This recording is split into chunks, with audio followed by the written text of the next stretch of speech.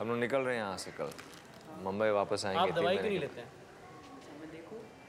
क्योंकि कोई विकल्प ही नहीं है। हर दवा के पीछे पशु इंसान पर आपके लेने ना लेने से क्या फ़र्क पड़ता है? तो फिर किसी भी चीज़ से क्या फ़र्क पड़ता है? Exactly see it's pretty clear how inconsequential our actions are in the larger scheme of things मैं इस बात से सहमत नहीं हूँ। हमारे हर काम का प्रभाव काल आकाश में रहते हर परमाणु पर पड़ता है। हिंदी सिनेमा में बहुत कम ऐसी फिल्म्स बनती हैं जो सही मायने में हमारी सोच के दायरे को एक्सपेंड करने में हमारी मदद करती हों, जो हमारे जहन के उन अंधेरे कमरों में घुसने की कोशिश करती हों, जहाँ इग्नोरेंस की धूल के अलावा और कुछ नहीं रहता फ़िल्में जो अंत में हमें आसान जवाबों के बजाय कुछ पेचीदा सवालों के साथ छोड़ जाएँ। आज हम बात करेंगे ऐसी ही एक फ़िल्म के बारे में जिसका नाम है शिप ऑफ़ थीसियस जिसे डायरेक्ट किया है फ़िल्म मेकर आनंद गांधी ने, who is not only one of my favorite filmmakers, but also one of my favorite contemporary thinkers as well. Imagine कीजिए, आप एक अंधेरे कमरे में कुछ लोगों के साथ बैठे हैं और सामने स्क्रीन पर कुछ वीडियो क्लिप्स देख रहे हैं, जिन्हें शूट किया है एक केव एक्सप्लोरर ने, जिसकी मौत अभी कुछ ही वक्त पहले हुई है आपको कैसा लगेगा ये जानकर कि वो एक चीज़ जो आपको वहाँ बैठे हुए हर इंसान से जोड़ती है। वो ये है कि आप सभी जिन ऑर्गन्स के ऊपर ज़िंदा हैं, वो सभी ऑर्गन्स उसी केव एक्सप्लोरर से आपको डोनेट हुए हैं, जिसकी मौत अभी कुछ वक्त पहले हुई है और जिसकी शूट की हुई क्लिप्स को आप अपनी स्क्रीन पर देख रहे हैं। अब यहाँ पर सवाल ये है कि क्या वो केव एक्सप्लोरर अभी रूम में मौजूद है या नहीं? क्या वो अभी आप सभी के थ्रू ज़िंदा है या नहीं? क्या इंसान सिर्फ़ अलग अलग बॉडी पार्ट्स को मिलाकर बना एक स्ट्रक्चर भर है? या इंसान अपने पार्ट्स के कॉम्बिनेशन के अलावा भी बहुत कुछ है? क्या है वो चीज़ जो अलग अलग बॉडी पार्ट्स के कॉम्बिनेशन से बने हुए एक स्ट्रक्चर को एक जीता जागता कॉन्शियस इंसान बनाती है? ये फ़िल्म बेस्ड है एक थॉट एक्सपेरिमेंट के ऊपर। जिसका नाम है शिप ऑफ़ थीसियस, जिसे एक ग्रीक फिलोसोफर प्लूटार्क ने अपनी बुक लाइफ ऑफ़ थीसियस में पहली बार रिकॉर्ड किया था। ये एंशियंट थॉट एक्सपेरिमेंट बात करता है आइडेंटिटी, चेंज और नेचर ऑफ़ एग्जिस्टेंस जैसे फिलोसॉफिकल टॉपिक्स के बारे में। और फ़िल्म की सेंट्रल फिलॉसफी इसी टॉपिक के अराउंड रिवॉल्व करती हुई ज़िंदगी के कुछ गहन सवालों पर बात करती है। अगर इस थॉट एक्सपेरिमेंट को सिंपल लैंग्वेज में समझना हो तो ये कुछ ऐसा है। फ़र्ज़ कीजिए, एक शिप जिसका नाम है शिप ऑफ़ थीसियस अगर उसके पार्ट्स को धीरे धीरे प्लैंक बाय प्लैंक पूरा चेंज कर दिया जाए तो क्या अब भी वो ओरिजिनल शिप ऑफ़ थीसियस रहेगा? और अगर उन पुराने सभी पार्ट्स को मिलाकर एक दूसरा शिप तैयार कर दिया जाए तो अब इन दोनों में से हम किसे ओरिजिनल शिप ऑफ़ थीसियस कहेंगे? यहाँ पर जिस कोर सेंट्रल फिलोसॉफिकल पैराडाइम की बात की गई है, वो है आइडेंटिटी और चेंज। एक आइडिया कि हम कैसे कंक्लूसिवली ये कह सकते हैं कि हम कहाँ पर ख़त्म होते हैं और कहाँ से हमारा एनवायरनमेंट शुरू होता है। हमारी आइडेंटिटी कैसे डिफाइन होती है? क्या हम सिर्फ़ अलग अलग पार्ट्स का सम हैं, या उस सम से ऊपर हम बहुत कुछ हैं? Can the whole be greater than the sum of its parts? If yes then what are those intangible things that makes the whole greater हमारी फ़िल्म बेसिकली तीन अलग अलग स्टोरीज के अराउंड रिवॉल्व करती है। और हर कहानी एक ऐसे पॉइंट पर आती है, जहाँ उन कहानियों के कैरेक्टर्स और हम खुद भी सोचने पर मजबूर हो जाते हैं। Identity beauty life death joy और सौरो जैसे फिलोसॉफिकल क्वेश्चंस के बारे में। पहली कहानी है एक ब्लाइंड फोटोग्राफर की, जिसका नाम आलिया है। हम देखते हैं कि कैसे ये फोटोग्राफर विजन ना होने के अभाव में भी बहुत अच्छी फोटोग्राफी करती है। और एक तरफ़ जहाँ वो अपने काम से खुश थी, वहीं दूसरी तरफ़ वो एक्साइटेड थी अपने कॉर्निया ट्रांसप्लांट को लेकर भी। पर जैसे ही उसका कॉर्निया ट्रांसप्लांट हो जाता है, उसके बाद जैसे उसकी ज़िंदगी बदल सी जाती है। जहाँ पहले वो बिना कुछ देखे हुए भी इंट्यूटिवली इतनी अच्छी फोटोग्राफी किया करती थी। वहाँ अब उसके विजन के वापस आ जाने के बाद भी वो फोटोग्राफी में स्ट्रगल करने लगती है। हम देखते हैं कैसे वो अपने आसपास के सराउंडिंग से अब एक तादाद बनाने में नाकामयाब सी होने लगती है। अब यहाँ पर सवाल ये है कि उसकी बॉडी में एक पार्ट के चेंज होने से क्या उसकी होल आइडेंटिटी में एक चेंज आ गया? जहाँ पहले ना देख पाने के बावजूद भी वो इंट्यूटिवली अपने आसपास के सराउंडिंग के साथ में एक कनेक्शन फील किया करती थी। पर अब एक पार्ट के चेंज होने से पार्ट्स का सम तो पूरा हो गया, पर एज अ होल वो क्या शायद इनकम्प्लीट हो गई? आपको इस बारे में क्या लगता है? कमेंट सेक्शन में ज़रूर बताइए। हमारी दूसरी कहानी है एक मॉन्क की जिसका नाम मैत्रिय है। जो एनिमल अब्यूज़ के लिए फार्मास्यूटिकल कंपनीज़ के अगेंस्ट एक कोर्ट केस लड़ रहा होता है। वो ये लड़ाई जानवरों पर किए जाने वाले अत्याचार के खिलाफ लड़ रहा होता है। उसका मानना है कि ब्रह्मांड में रहने वाला हर जीव बराबर है और हमारे छोटे से छोटे एक्शंस का प्रभाव कहीं ना कहीं दुनिया पर पड़ता है।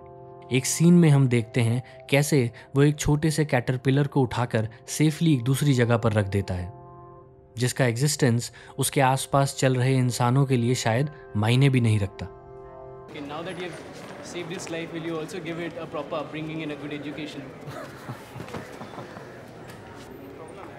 what if it was a worm's karma to just lie there and get crushed?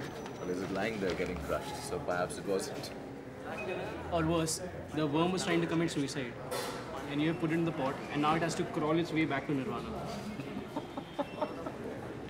Our court में मैत्रिय की मुलाकात होती है चारवाक नाम के एक इंसान से, जो केस में उनकी हेल्प कर रहा होता है। मैत्री और चारवाक की फिलोसॉफिकल लीनिंग्स की वजह से उन दोनों का एक बहुत अच्छा रिलेशनशिप बनने लगता है, और वो धीरे धीरे अपने अपने फिलोसॉफिकल बिलीव्स एक दूसरे के साथ में शेयर करने लगते हैं।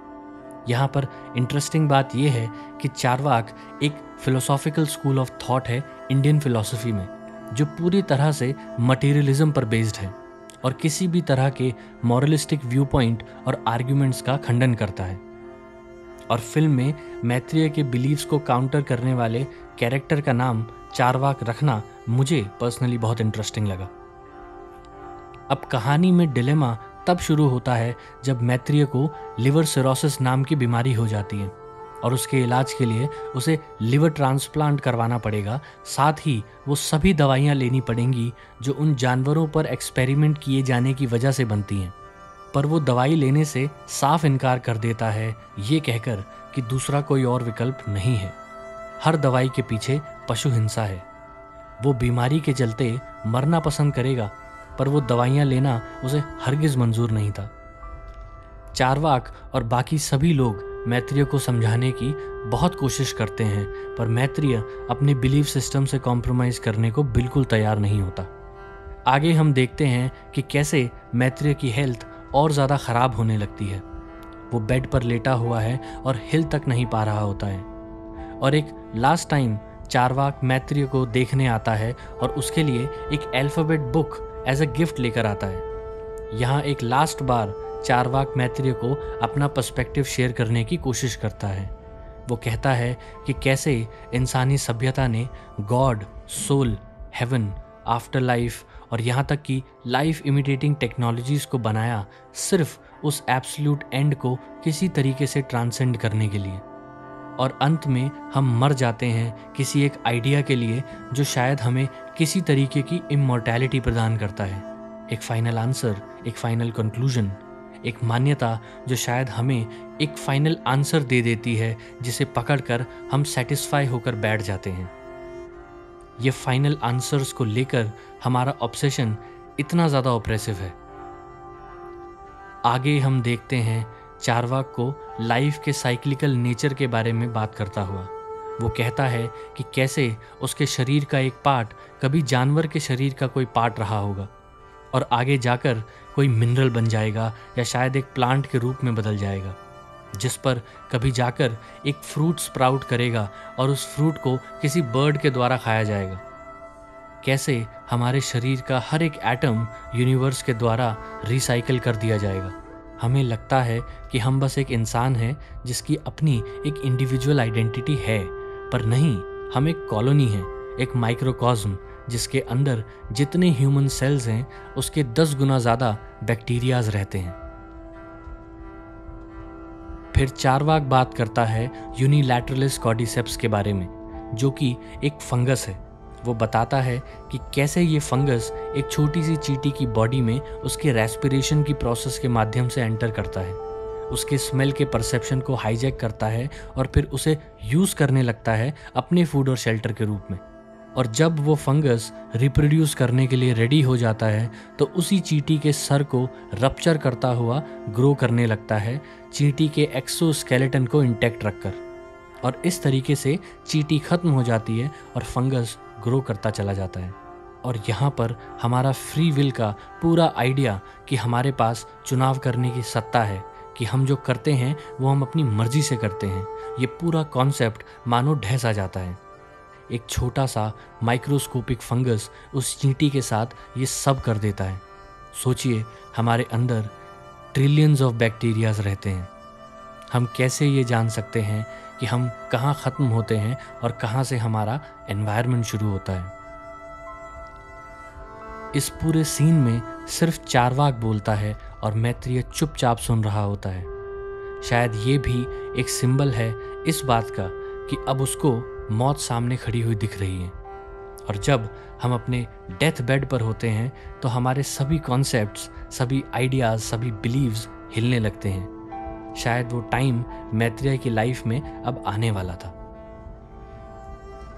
और एंड में जब मैत्रिय दम तोड़ने ही वाला होता है, तब हमें दिखता है एक लश ग्रीनरी का सीन जो शायद लाइफ को दर्शाने के लिए एज अ सिंबल फ़िल्म में यूज़ किया गया है। और उस सीन के बाद हम देखते हैं कि मैत्री अपने साथी से कहता है कि वो ट्रांसप्लांट के लिए तैयार है। शायद कभी ना कभी हम सभी की लाइफ में वो पॉइंट आता है जब हमें उन सभी बिलीफ सिस्टम्स पर क्वेश्चन करना पड़ता है जो हमने लाइफ टाइम पकड़ कर रखे होते हैं। और शायद यही मैत्रीय के साथ भी हुआ।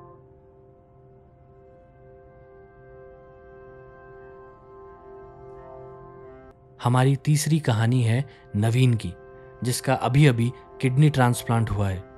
नवीन एक स्टॉक ट्रेडर होता है, जो कि पूरे तरीके से मटेरियलिस्टिक इंसान होता है। उसे ज़िंदगी में ये इंटेलेक्चुअल डिस्कशंस और फिलोसॉफिकल बातों में कोई इंटरेस्ट नहीं होता। हम देखते हैं कि कैसे उसकी नानी बार बार उसे समझाने की कोशिश करती है कि ज़िंदगी में पैसे और रिसोर्सेज के अलावा भी बहुत कुछ है। और हम सभी इस दुनिया में कोई ख़ास मकसद के लिए आते हैं। हमें अपनी लाइफ के मीनिंग को ढूंढना चाहिए और कुछ मीनिंगफुल करना चाहिए। इस बात पर नवीन उनसे कहता है कि वो अच्छा खाता है अच्छा पहनता है, जिन लोगों के बीच वो उठता बैठता है, वो लोग उसकी इज़्ज़त करते हैं। उसे इसके अलावा और कुछ समझ नहीं आता। उसकी कोई इच्छा नहीं है ज्ञानी बनने की और वो मानता है कि किसी और से उसकी ज़िंदगी को सेक्रीफाइस करने को कहना किसी बड़े उद्देश्य के लिए ये बहुत भारी एक्सपेक्टेशन है किसी से भी। मैं अच्छा खाता हूँ अच्छा पीता हूँ। जिन लोगों के बीच में उठता बैठता हूँ मेरा सम्मान करते हैं। इतना काफ़ी है। मेरे लिए काफ़ी है। ज़िंदगी इतनी विशाल है। दुनिया में कितना कुछ है। मुझे नहीं है जानने की इच्छा तो इससे क्या मैं बुरा आदमी हो जाता हूँ? पर उसका ये बिलीफ तब शेक होता है जब उसे हॉस्पिटल में शंकर नाम का एक लेबर मिलता है, जिसकी किडनी एक दूसरे छोटे हॉस्पिटल में वहाँ के डॉक्टर्स ने धोखे से निकाल ली होती है। ये सुनकर शंकर शौक में आ जाता है और पहले उसे ये लगने लगता है कि कहीं उसके अंदर जो किडनी ट्रांसप्लांट हुई है, वो शंकर की ही तो नहीं, पर ऐसा नहीं होता। लेकिन शंकर की इस हालत को देखकर नवीन बहुत परेशान होने लगता है और वो शंकर से वादा करता है कि वो उसे जस्टिस दिलाकर रहेगा। और वो ये पता करके रहेगा कि उसकी किडनी किसे दी गई है। और उसकी ये खोज उसे सीधा स्टॉकहोम ले जाती है, जहाँ वो मिलता है उस इंसान से जिसको शंकर की किडनी ट्रांसप्लांट हुई थी। पर उस इंसान को भी इसके बारे में कोई आइडिया नहीं होता कि किडनी को इस तरीके से चुराया गया है।